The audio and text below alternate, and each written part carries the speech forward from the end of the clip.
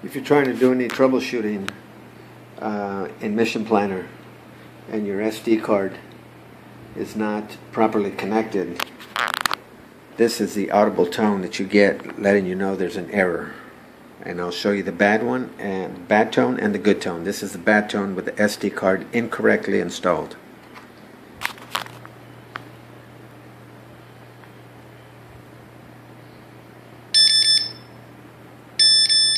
Okay. One, two, three. One, two, three, fast. That's the bad. Let me show you the good. I'm going to disconnect. Alright. Let me do this real quick here. If I can.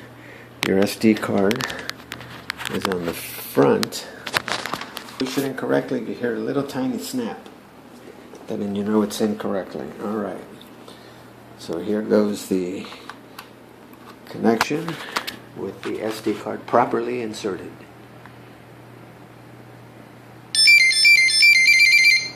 Okay, that's the good tone. So there's the difference.